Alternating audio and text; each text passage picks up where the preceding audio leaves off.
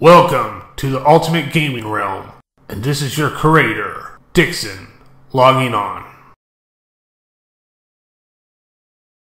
Elevator Action is a 2D platform action shooter released in the arcades in 1983 from Taito Corporation. Elevator Action does sound like a real innovative title. And for what the game is, it's an innovative action adventure game where you are a spy infiltrating a 30 story building filled with elevators, stairs, and doors. And not to forget to mention, bad guys. You start at the very top of the building and then work your way down, shooting agents that get in your way and looking for red doors that contain important documents.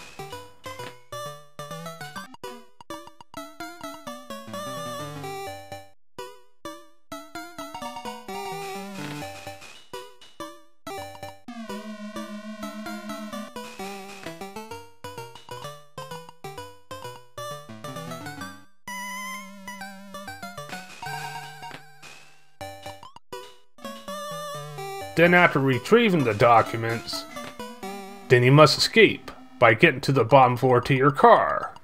Then, take off.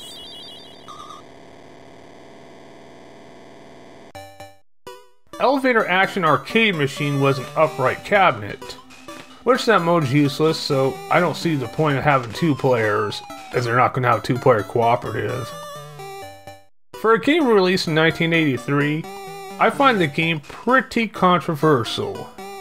Like when you shoot an agent in the face, for some reason I have an imagination when a bullet hit an agent, especially in the face, it looks like blood squirting out. I know the bullet is red itself, but still when bullet connects to an agent, it looks more like a direct brutal hit.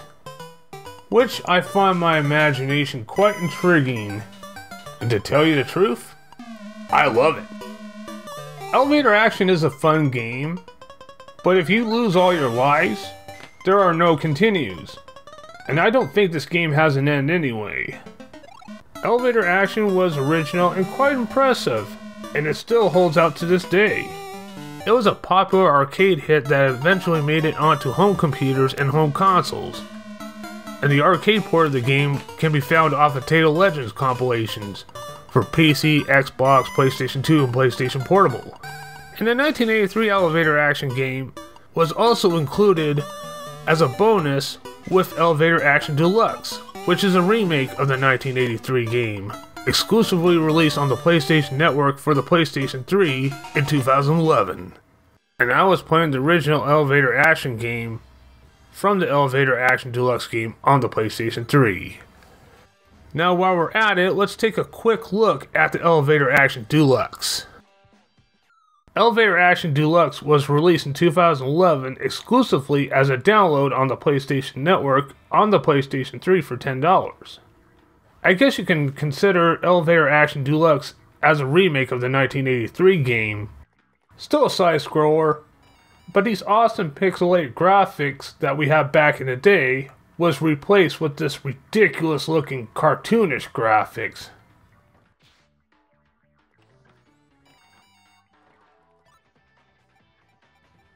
But Elevator Action does have selectable characters, including the main default character from the 1983 game. And the deluxe edition also has all sorts of new interesting tricks, like hiding behind a door and waiting for an agent to come by so you can slam the door in their face. You can also upgrade your weapons, and once you complete a level, these levels become selectable.